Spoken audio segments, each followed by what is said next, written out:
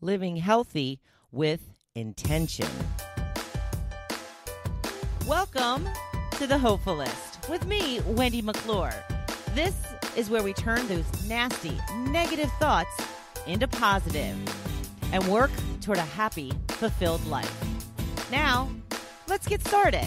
Hello and welcome to the Hopefulist. It's the start of a brand new week and the beginning of a new month. We will start out today with the quote of the day Allow yourself to experience whatever your heart desires as if this is your one and only chance to take the ride of your life. Because it is. This is your one and only chance to make life exactly as you design it. And you know, really, that's what the hopefulist is all about. It's about you and making your dreams come true, about enjoying your day to day life, about waking up and looking forward to the day because you know it will be a happy one. It's about having 85% good days compared to bad. Now, as a lifelong pessimist, I had, I wouldn't say 85% bad days, but, you know, let's go with 75. And that's not good. That's not good. But when you learn how to transform your thoughts from negative to the positive, you literally do wake up every day excited and hopeful that it will be a great day. Because you know now that the power to make that happen is in your hands. And it always has been. And that's what becoming a hopefulist is all about. Learning that you are in charge, that you call the shots, that it's up to you whether you look forward to your day or whether you dread the upcoming day. With all that said, welcome to a brand new month. I know it's a couple of days in, but uh, how has the first two months of the year been going for you? Have you followed through with your New Year's resolutions, any of those New Year goals that you had set? Any of your goals? Yeah, it's okay. Don't worry about it. The good news is you can start fresh right now. And you can do that by living with intention. Instead of letting the days take you where they may, you can live intentionally and make sure the day goes exactly as you plan. Well, maybe not exactly, but when you have a plan, then you can follow that plan. But when you don't even have a plan, then your days are all over the place because there's no structure to them. There's no intent. There's no goal. Oprah who y'all know is my personal development guru and my best friend. She just doesn't know it yet. She starts out every action of her day with intention. Whenever she has a meeting, she asks the other participants, All right, what is the intention for this meeting? What is the goal? What are we going to accomplish by the time this meeting ends? When you have a job or activity you will be part of, ask what the intention is. What is the outcome you would like to see and work toward that? See the end and imagine how you can make yourself work up toward that and how you want to feel when it's over. Something I recently started doing along with my uh, gratitude journal first thing in the morning and my goal list. Um, I write down my top 10 goals every single morning immediately after I do my five items on my gratitude list. And I recently started putting down what is your intention for today? And the reason that I write down 10 goals, you know, and I've heard this from numerous people, Rachel Hollis, and there's all kinds of people who've talked about writing down your 10 goals each and every day because it keeps them front of mind. It keeps them right there where you can remind yourself on the daily of what it is you are working toward, right? So I just recently started putting what is your intention for today? And theoretically, it should be related to one of those 10 goals. What is it I'm going to be working on today? What is it I'm going to be working on today? It gives you a direction for the day instead of letting the day take you along for its ride. So let's start out this month by talking about our health. Take a minute to think about how you feel in your body and your mind lately. Are you feeling at your peak? Is there room for improvement? I'm sure there is room for improvement. But if we're talking about intention, let's think about how you want to feel strong, resilient, rested, glowing. Any or all of these words come to your mind?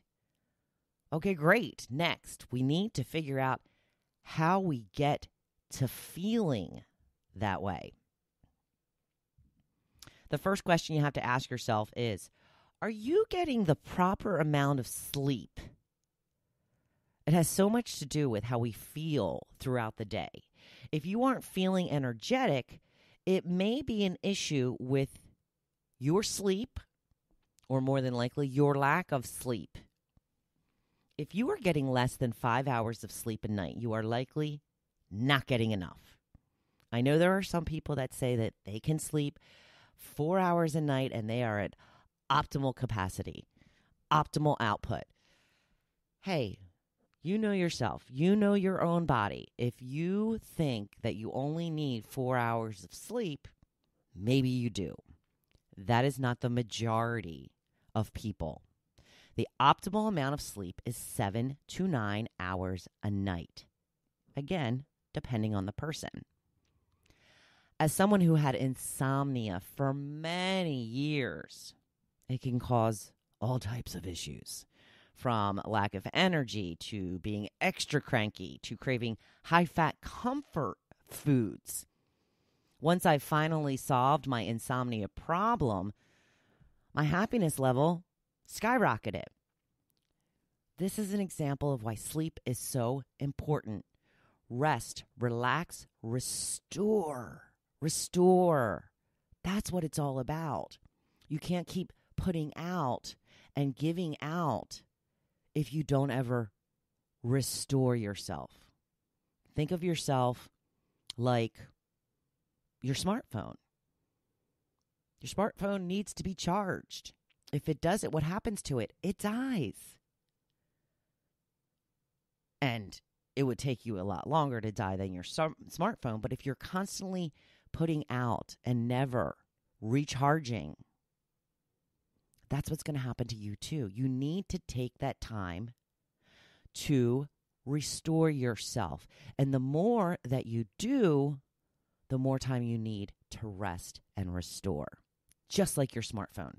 If you're on your phone all day long, it might be depleted by five o'clock by the time you even leave work because you've been at it and on it and on it and on it and on it.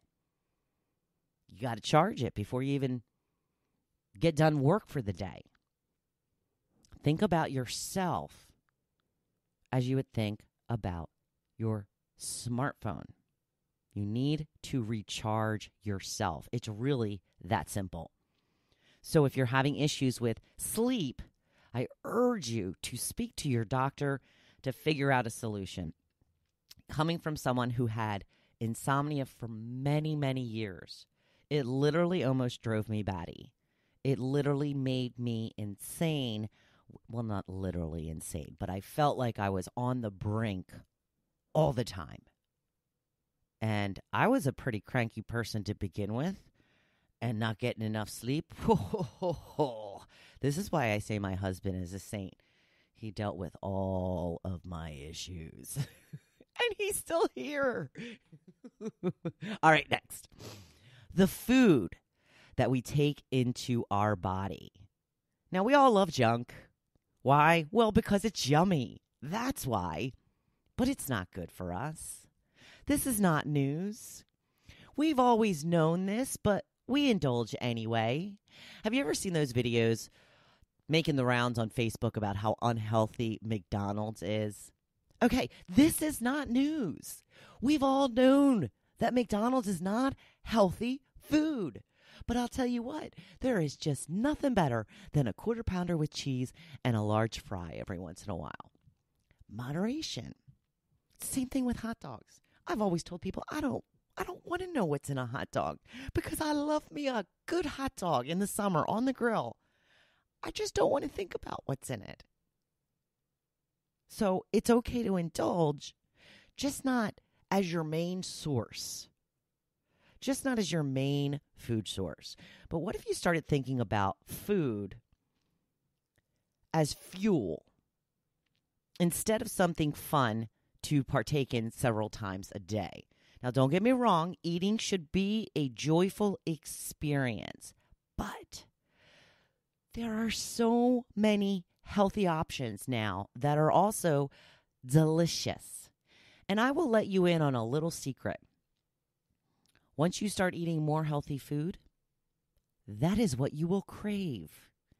I know this to be 100% true.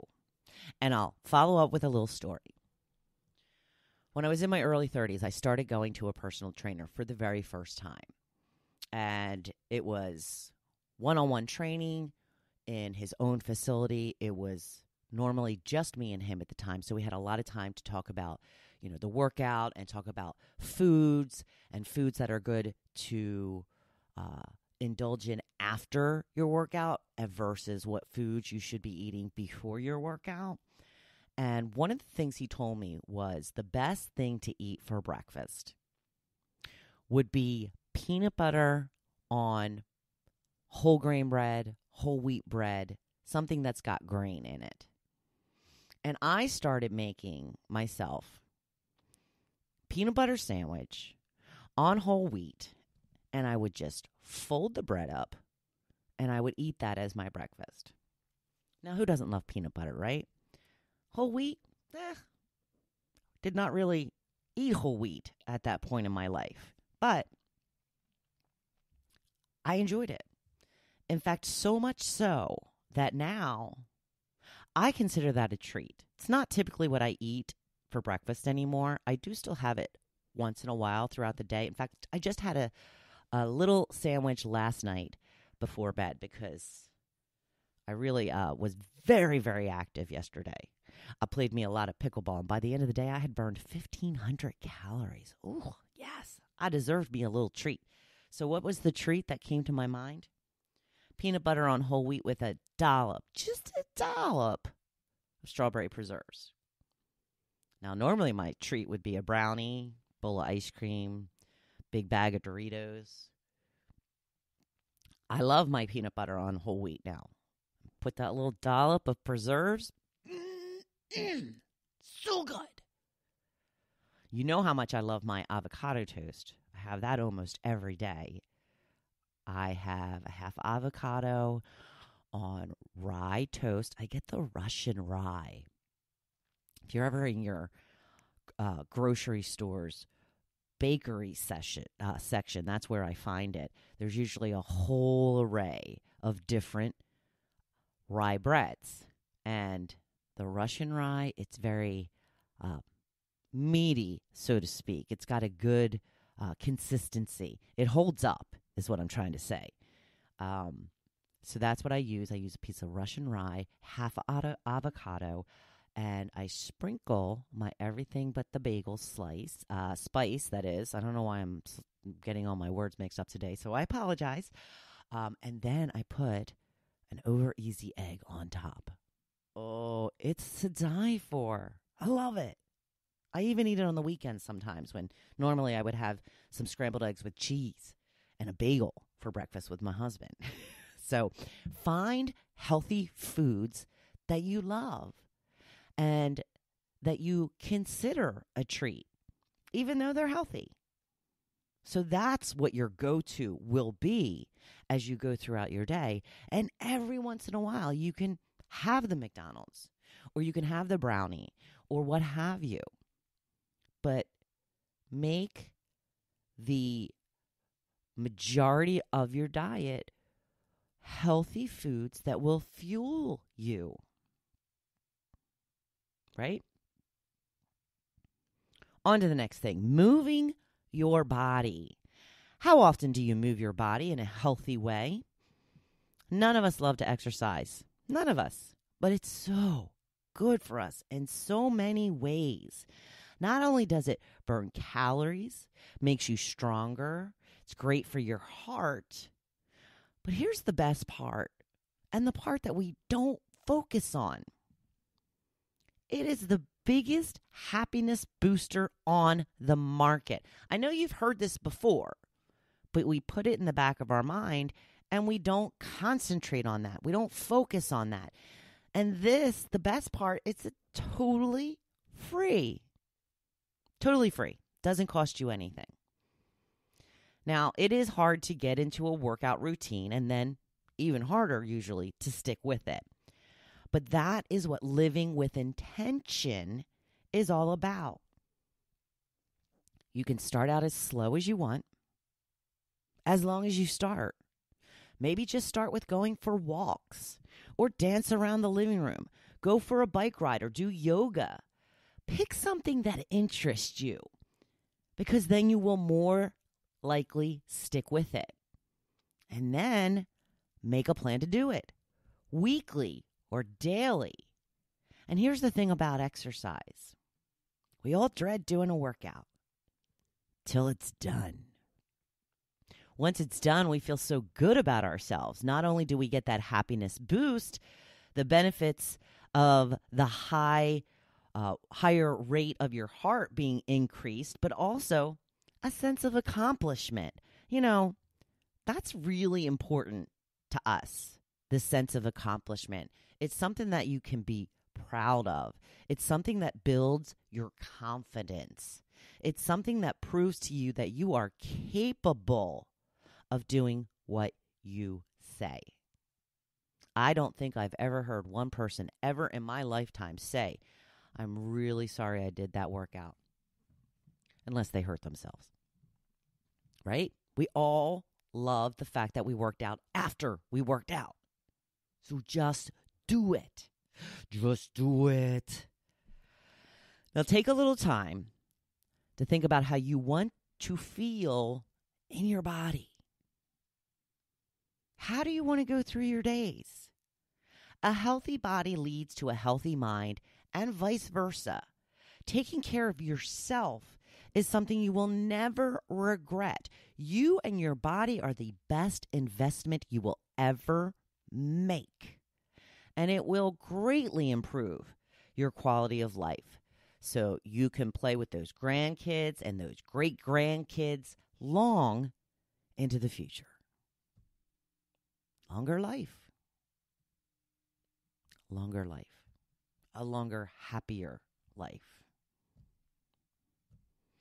If you would like to learn how living with intention can lead you to loving all of your days, please contact me. I'd love to speak about working together so we can get you on the path of the life of your dreams, the path and the life that you design for yourself.